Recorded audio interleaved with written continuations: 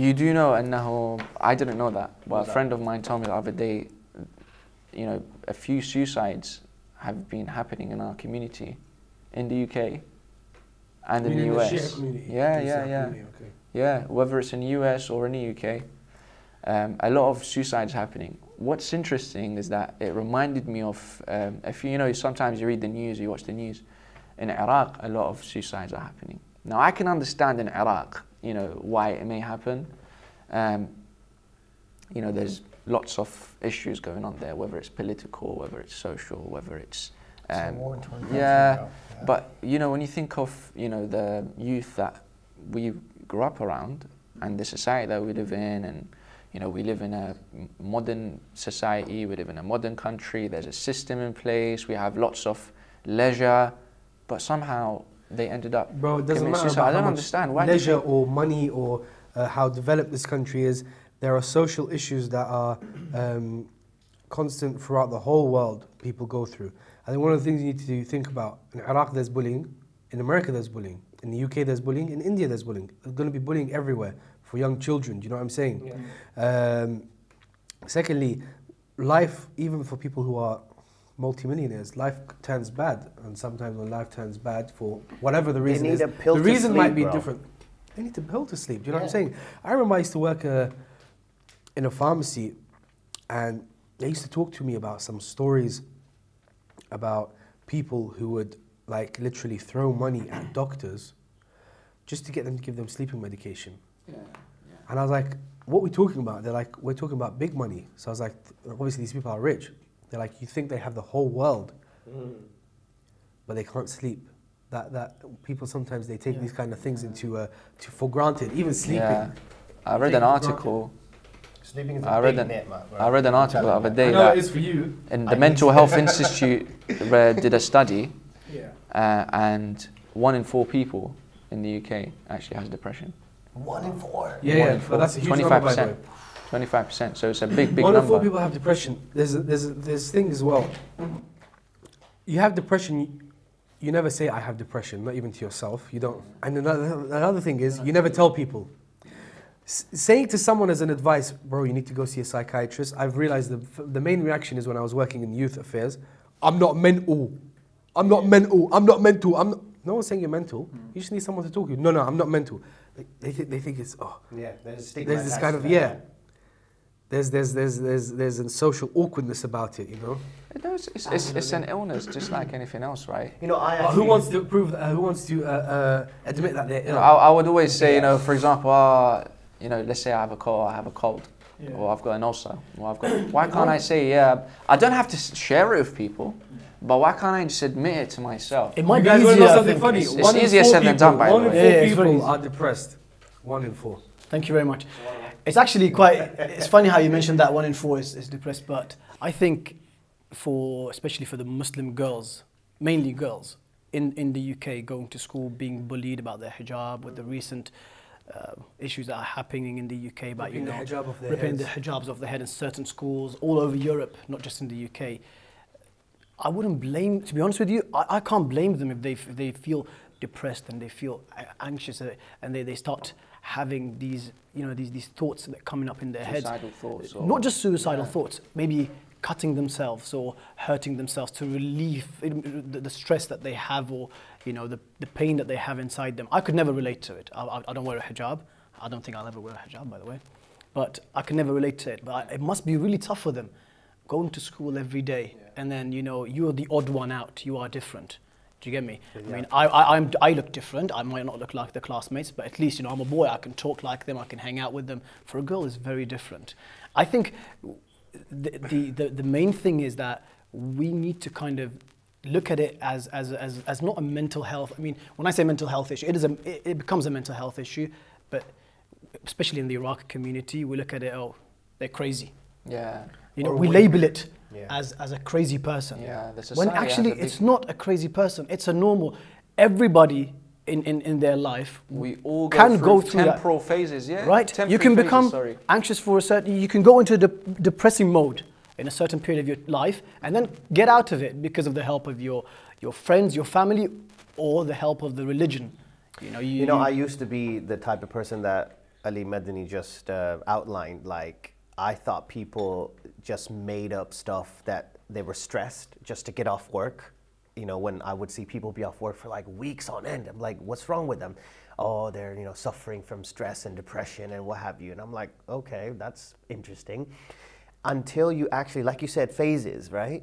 It's when a lot of sensitive delicate situations arise all at the same time and they come and attack you from all angles. Mm. You're already going through your own stuff, then you have to worry about family members, then you have to worry about immigration, then you have to worry about all these other things.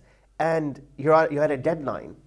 Then you have a job as well. That's the funny thing about life. Suddenly, there's nothing wrong. Suddenly, everything Everything's wrong. Yeah. And then you're thinking, why am I so sad? Why don't I want to wake up? Why don't you don't know you're actually beginning to suffer from some effects of depression and, and all these things. you don't know it, You don't know it. And I think I'm actually I feel we, we all are uh, living in a Western society such as Britain, where they have so much awareness and it's ongoing and it's spreading. And they have so many of these sort of programs and forums in which you can take advantage of to come and talk. And, and, and the first thing, if you do go, the first thing they say, well, thank you for coming. That's the very first thing. You know, you'd be surprised how many people actually are going through this day in and day out, but they're, they're not taking the effort to make an appointment, to call in and just come talk to us. Why, And why I really recommend that. Why do, you, why do you think people don't? Similar to what you guys said, you feel weak. It's like a stigma attached to it. You feel like you're not normal, you're abnormal. It's a, it's a mental disorder. Let's not forget, just like you're cold, but it's physical. You can see the nose running when you have a flu. This stuff is happening internally. Yeah, you, the doctors and the professionals can see your effects on the Yeah, outside. Externally, it's like, I- I- mate, I- what's wrong with you? I totally agree with you in one sense that, especially in this country, we do have great uh, awareness for mental health issues. We do have a big um, kind of campaign from the NHS and stuff, which is very, very positive. But then the other side of the coin is I don't know if it's like what popular culture embeds in our head or something. You always put that question mark on, on in your head when you know that somebody's feeling depressed, because it, it, it doesn't answer a question. It opens up a thousand other questions. Does that make sense?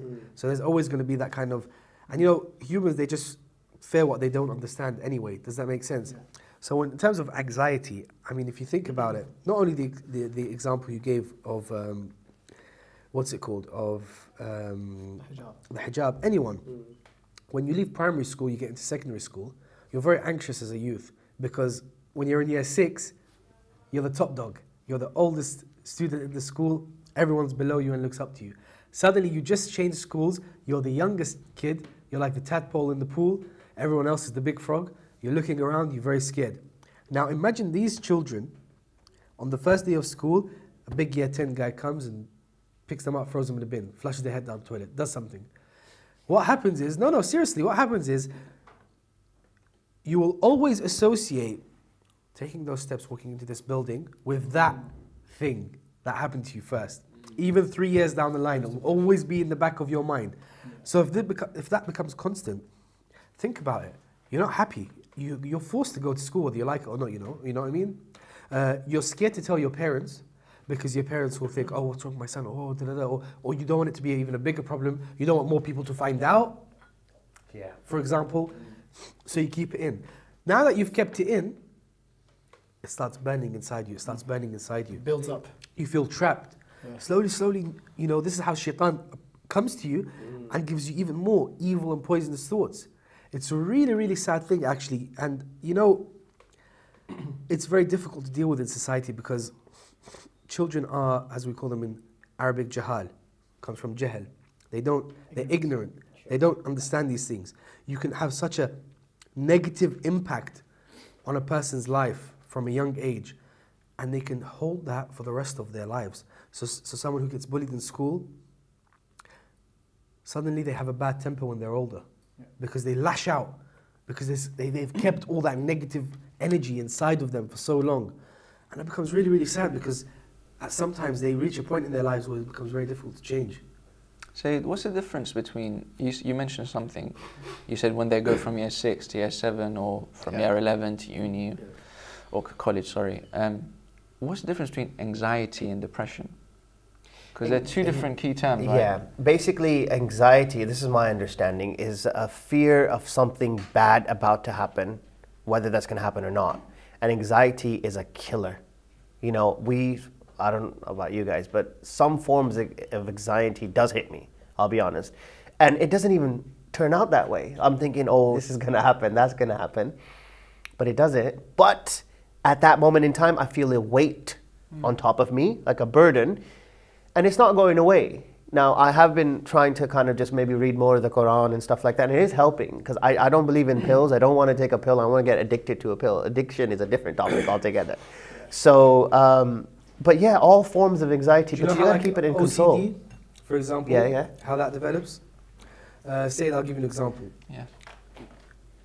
GCSE, most important day of your life, you're going for the maths exam. What are you feeling before? Nervous, right? You're feeling anxious. Uh, you start to think, what's the worst that could happen? Yeah. Right? But then, this is waswas al khannas. The worst that can happen starts to become bigger, bigger problem, bigger problem. Suddenly you feel trapped. If you don't do really good, it's going to be over. What's going to happen? Your parents are going to be disappointed from you. No, your parents are going to disown you. No, your parents are going to hate you. No, you're not going to have a good future. No, you're going to da da da da. It destroys you, right? And that grows, grows, grows, and that's how like, you know, OCD starts to happen. You you, become extra with a specific thing. You want to do this. You, you become twitchy. and, and no, it's not even about twitchy. You're normal, but you want to do this over and over again. Why? Because you know you're not sure if you did it right. You're not sure to if you did it right. right, perfection. You have That's self anxiety, doubt. yeah. You have self doubt, and you're always nervous about things. You're always anxious, and that really can destroy a person, bro. And that's why you know having a, a waswas is haram. And if you feel like you have it, you've done wudu, and then you say, "Should I do wudu again?" No. The scholars tell you don't. You have to beat that waswas because that can kill you. That can destroy you. And there's a lot of cases where normal people sometimes, for example, I know a person, very nice, successful person, moved from his family to another country for work. Those hours he spent alone in his room after finished work made him think a lot about different things, made him think about a lot of different things, and he built that. And I'm telling you, this guy's a great guy. And he actually told me about his journey. He said, Nothing helped me more than speaking about my problem. And him specifically, he spoke about with a scholar. Now, you don't always have to speak with a scholar. I'll be honest with you, speaking with a psychiatrist can help a lot. But just speaking about anxiety, bro, he literally spent, he told me, like, I spent hours once with the tap open, crying, because I just kept redoing my wudu. Whoa. He's like, some, I, I didn't have, you know, anyone That's to talk to. severe. That's a severe case of anxiety. And, and you know the thing is, he, he never had it. He never had it. So look how it builds up, Wow. and it can build up really quickly. Mm. And for example, it built up in a month, two months. It took him two years to defeat it. So you kind of nip it in. You have to nip it in the bud because you don't know what it can do. Now, in terms of depression, depression is another killer. To be honest with you, it's when you're always feeling down, when you start to hate yourself, when you start to hate everything around you. Spending long hours in bed, you don't want to get Yeah, up, just in your room. demotivated. What's right? the point? What's the point? Yeah. And this is another Yeah. one where the shaitan plays on your head. What is the point of life? We're all going to end up dying anyway. We're all going to do this and that. Why are you going to do? And you end up doing nothing. You end up being sad.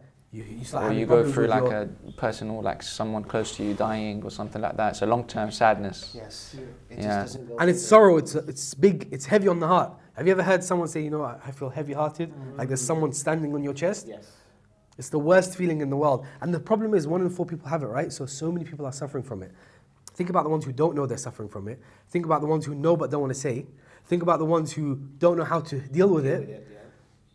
So, I I think this is why it goes back to, for example, when uh, Ahl Bayt Muhammad Sallallahu Alaihi Wasallam say, "أحمل أخاك على سبعين محمل," make 70 excuses for people. Because really, in life, we don't know what other people are going through. No doubt. Yeah. Like even when you're in the car and you see the guys driving slow, don't be straight away beep beep beep beep. Maybe it's an old man in front of you. Maybe something else. Maybe he's looking for directions. Well, It's the same kind of concept applies throughout life. it's very, uh, yeah, sorry just to interrupt you there, Said. Um, about the whole anxiety kind of feeling, and I used to have that a lot when I was young. Um, you know, preparing for an exam, prepare, just going to school by itself. I, Alhamdulillah, I'm not saying that I was bullied or anything. Seriously, not by big boys. You were bullied. He's bullying her. But I had that struggle inside me. I was like, I don't feel like it. You know, I don't want to. I just don't like it. I don't want to be there. And then exam would come. I don't like the exam. I don't want to study for it. And then it would happen, and then I'm not well prepared. I'm so anxious, you know, maybe I'm going to fail, maybe something's going to happen. And I had this for quite a long time. Um, and obviously, you know, you listen to lectures, you know, Islam tackles it very nicely, actually. But you listen to these lectures, and they, they sometimes, you know, I'm not saying they come in one, they go in one ear, come out the other ear, but you just, sometimes it just doesn't sink in. You don't get the picture of how do I battle, how can I fight this anxious feeling that I have. I'm always anxious, I'm always, you know, worried something's going to happen. Um, and this funny thing happened to me. I was actually on holiday, and I was sitting with a, a family relative, and we were sitting in a, I still remember the whole scene. It was a nice area in the middle of the, uh, of like a, um, next to the, like a, a, little river flowing, and we're sitting there, and I just opened my heart. So we're just talking, and then I told my cousin, I told him, listen, yeah, you know, I'm always a bit like, you know, anxious about things. And then he said something, I've heard this many times, you know, ألا بذكر الله تطمئن القلوب. You know, you hear this so often. But then the way he said it at that time and at that atmosphere, it really made sense to me there. And then I was like, yeah, you're right. You know, why, did, why am I so worried about stuff? I mean, what's going to happen? I just remember Allah subhanahu wa ta'ala and my heart will calm down. I will be, I'll, I'll be normal. And that's I'll the be truth fine. of it. And it's truth. you know, Depression you, and anxiety comes from the devil. Exactly. You read, sometimes you read Ayatul Kursi before you're doing your exam. You can read it 100 times and you're still like, oh, I'm still shaking, you know, am I going to fail?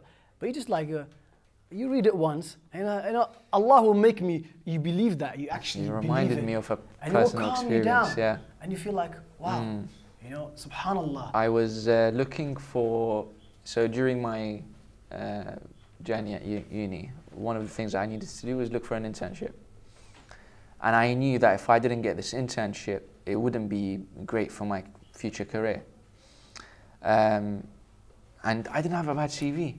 My CV was actually quite good. Ali knows I've been working from a very young age.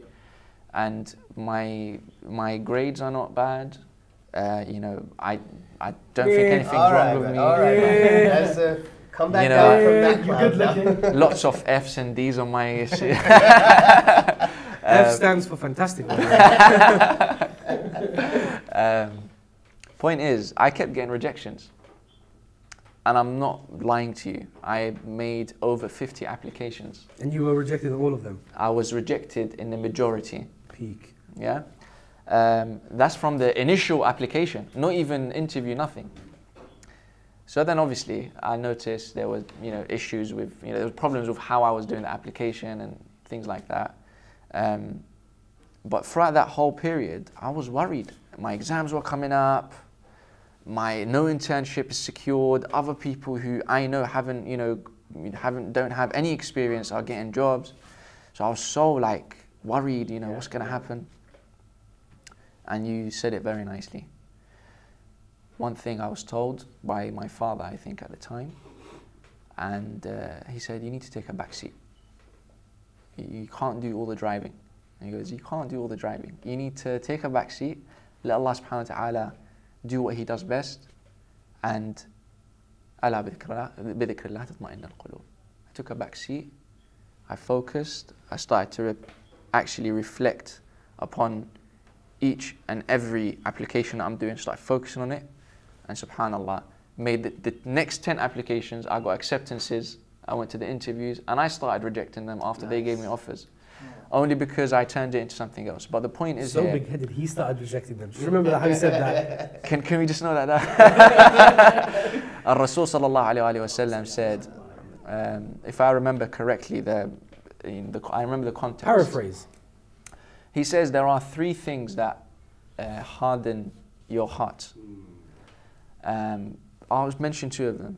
Um, تراكم الذنب على الذنب. So the um, when when a When when a a sin goes on with another sin and you keep you sinning. just keep, you keep sinning. And the other thing is المصاحبة الموتى. So uh, being friends with the dead. What does this mean? What does he mean by the dead?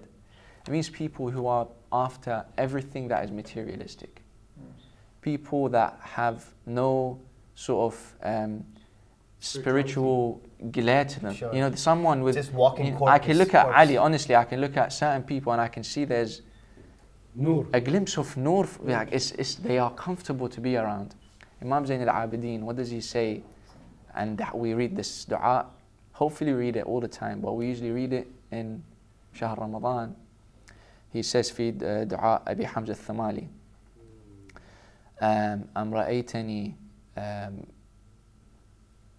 let me let me remember it when he says that uh, do you see me not um, um, uh, associating myself with the ulama so you rejected me so you're, associ- you're dissociating yourself from good people you associate yourself with the wrong people what does this do this hardens your heart Yeah.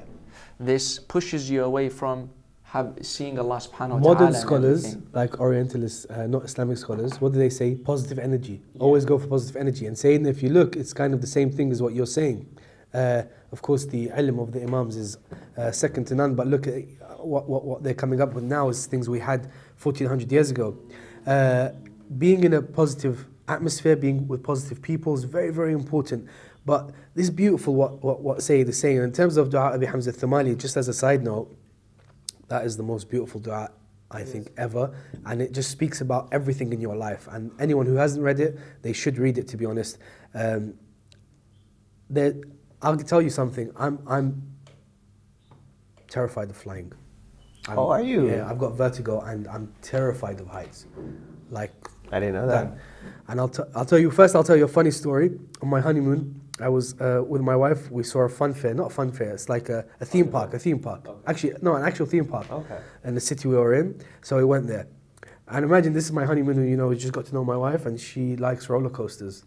She's like, "Let's go on this big roller coaster," and I I'm should have thinking, known that before. I'm thinking, You didn't specify that in the nikah. There's something I need to tell you. Um, I don't know what I did. I don't know why I did it, but I was like, yeah, let's go on this roller coaster. uh, needless to say, when we came down from the roller coaster, she said, I don't think we should ever go on a roller coaster again. Flying, I, I, I, I, I have, uh, I, I, I, I, I'm, it's over for me. Like I'm, how do you do it? How do you handle that? I'll tell you. Um, a few years ago, my mum gave me this little book um, that has little dua in it. One of them is called Al Hirz uh, Thamanun Ayah, the, the, uh, the thing that keeps you safe, uh, the specific 80 ayahs in the Quran. I can't remember all 80, but some of them are Allahu yaf'al ma yasha. So God will do what He wants. So we're in the hands of God. Allahu khayru hafaduhu, Allahu khayru hafaduhu, wa huwa arhamur rahimin. So Allah subhanahu wa ta'ala is the best of protectors. And he's Rahman Rahim. Ahsant. One of them was Allah bi dhikrillah yatma'innu al-qulub. Bro, I would read this 80 ayahs of Hiriz and I'd keep it next to my heart and I'd say, God, I'm with you now. And honest to God, I'm not saying this because I'm a very religious person or something, but this is not me, this is the power of the, the dhikr of Allah subhanahu wa ta'ala. Bro, let me tell you, when I say I'm terrified, I mean I'm terrified. If I'm on a tall building, if I look down, I just get, my head starts spinning, that kind of thing. But when I read this, when I, when I feel I'm getting closer to Allah subhanahu wa ta'ala, it really, really, really moves everything. Because whether I die or not, it, it just helps me. Reading those ATIs, and you know what, I'll send them to you. Yeah, that's a good uh. They're, they're, they're actually very nice. Reminds me of everything in life. We need Allah subhanahu wa ta'ala. We might not realize it sometimes living in this materialistic life that we live, but we need Him so badly. And even mentioning His name Yeah. is a cure for our hearts. It's, it's, it's a cure for our hearts. So we need to understand that these uh, problems like depression and anxiety, whatever the reason started for them, they get built up by shaitan. So, so from an Islamic perspective, I don't know from a psycho, psychoanalysis perspective, but from an Islamic perspective, the best way to beat this is from the early stages, growing closer to Allah subhanahu wa ta'ala. Sure. And I mean that. Really, really, really thinking about everything. Because this is the thing, right? What's the worst thing that can happen? The total worst thing is we can die. In anything, right? Well, I'm taking an exam, I'm going on a plane. What's the worst thing that can happen? I can die, right? There's nothing worse than that, right? Take an exam. From anything, right? No, I'm saying, you know how it builds up? Oh, this is going to happen. What's the worst thing that can happen? Death. The- always the thing, Everything the ceiling. stops there. Yeah. All right, but when I'm close to Allah subhanahu wa ta'ala, it's like the ashab of Imam al-Hussein alayhi salam. Yes. Death, Was what they were craving it's winning. Yeah. It's our success. Why? because we're close to Allah subhanahu wa ta'ala. So if the worst possible thing of anything that I do in my life is me gonna be I think dying, yeah. but my mind frame as well. I'm close to Allah, let me die. It's nice how you mentioned that. You know, does, that, does, that, does that make sense? Or? Absolutely. If you, if you put in your intention for everything you do, you know, I think it was Imam Ali said, said this, uh, um, I, in everything I do, I put Allah subhanahu wa ta'ala uh, before it and after it, in every act I, I do. So if you do everything you do, you tawakkul ala Allah. My niyyah, my intention is to do it qurbatan Allah, closeness to Allah. I take this exam, closeness, you say, how do you relate an exam to getting closeness to Allah? There is, there is a relation Always. there because I'm seeking knowledge here. That's I'm getting closer to Allah. And that helps. And that helps you. Anxiety and Exactly, depression. and it beats everything because everything you do is qurbatan Allah ta'ala. If God wants it, you know, He will accept it. And if you do come to die, you're doing it in the name of Allah. You'll die. Hadi, do you remember when we were in Qom? This reminded me of something. We, we, me and Sayyid Hadi, we've traveled many times together. In 2012, we went to Qom together, and one of the scholars we were with gave me something beautiful. He's like, really, everything to do with life is how you look at it. This cup of water, I can drink this cup of water and gain more thawab than if I hold a majlis. I said, why? He said, because if my niyyah is so pure that I'm going to drink this cup of water to be able to have the strength to get up and do ibadah for Allah subhanahu wa ta'ala, the, the hasanat of that might be more than me doing a majlis because I want to show off. For example, do you know what I'm saying? Or I want to stand at the door and say hello to people. So really our, no, you know what I'm saying? I know exactly Our, our, our, but that really, really took me back and thought every single one of our actions, and this, I think this is how Ahl Bayt actually practically live their life. Not from a the- theoretical standpoint, but there's a practical, everything they do is, is not um, just I'm doing this for no reason. There's a reason for everything they did. And always their reason is Allah subhanahu wa ta'ala, the ibadah of Allah subhanahu wa ta'ala and, and, and, and making Allah subhanahu wa ta'ala pleased with them. And these are of course the Immaculates, the Ahlul Bayt alayhim salam. Who are we compared to them, right? But if we just put that in the back of our minds, you can defeat shaitan, you can defeat your depressions, you can defeat your anxiety. Of course, when we say it like that, that's theoretical. But from, from, from a practical aspect, I feel depressed about this. I feel um, anxious about this. Get up and pray two rak'ah. But some people feel, say, that's the thing. Some people, they yet يتثاقلون. They they feel like you know when you you know when you want to get up to pray, and you just feel heaviness and you just don't want to get up and so when you give them the diagnosis is to get up and pray, it goes against you know How they're what- feeling at the time. yeah, so I think what we, I, mean, uh, which I agree with you by the way, but I think f- just to take that kind of person into account and see how he can. No, you're tackle right. that, You're right. Um, it goes back to our personal actions, I think. Uh, Surah Al-Hashr, Ayah 7, it says, فَلَمَّا زَاغُوا أَزَاغَ اللَّهُ قل- uh, Sorry, um, it's فَلَمَّا زَاغُوا أَزَاغَ اللَّهُ قُلُوبُهُم There is an ayah, I don't think it's Al-Hashr. Al-Hashr, Ayah 7 is, uh, نَسُوا اللَّهَ نَسُوا نَسُوا اللَّهَ فَأَنسَاهُم أَنفُسَهُم they forgot Allah subhanahu wa ta'ala, so He made them forget themselves. So when you forget your nafs, when you forget yourself, then you will forget your Lord, you'll forget your You're priorities, you'll forget. And this is when you go into insomnia and you go into. Um, so I think the key is to always be conscious of your God-wearing. actions, God wearing, ahsant. Be God wearing of what you're doing. You know, say it, said it nicely, you said it nicely as well. Have the intention to do everything for the, you know, to get to see closeness to Allah Said, you just made a beautiful point, and I want I want to call you out on this point because perhaps we could just discuss this even briefly, and it could be beneficial to a lot of people.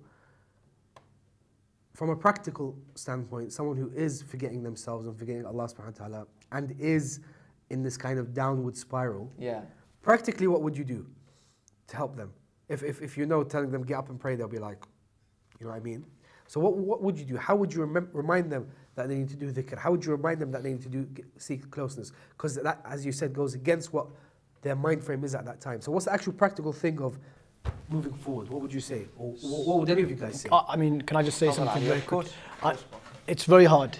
It is very hard. You can't Yes. tell someone to switch or to, to become, you know, think of Allah the whole time. You can't. You, sometimes you're just not used. You're not into that kind of atmosphere or into that kind of way of living. But what I found from from my personal point of view is that the best period of time to do this. I'm not saying so leave it, but uh, in Ramadan was the perfect Yeah, time for me When you're fasting, yeah. yeah. when you're fasting because you are already fasting the whole day.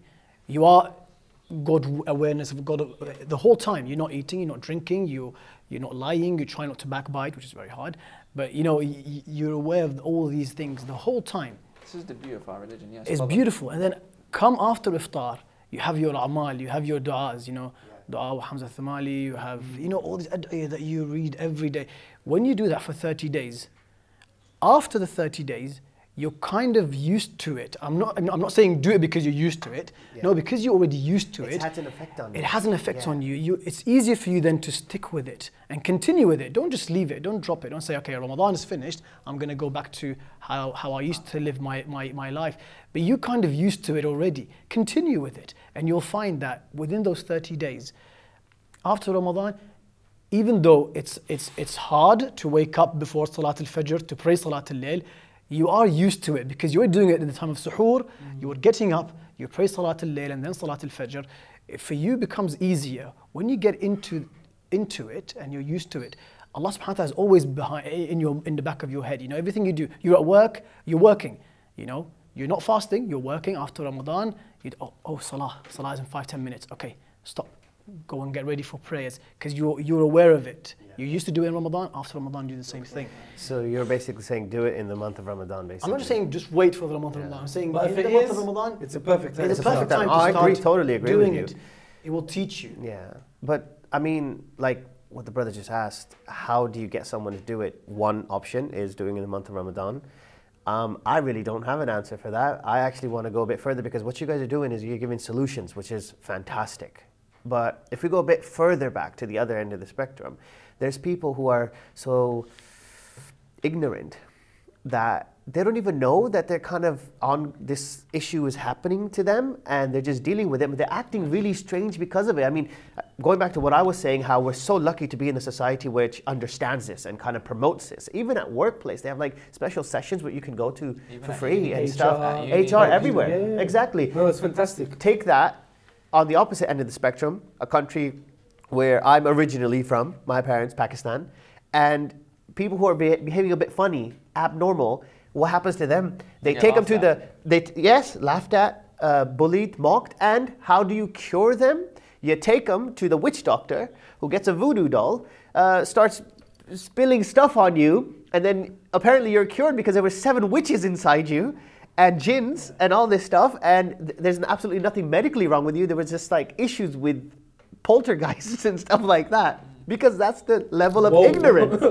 Whoa. Do you know what I mean? I mean, they think you're not normal. There must be something inside you, the jinn inside you.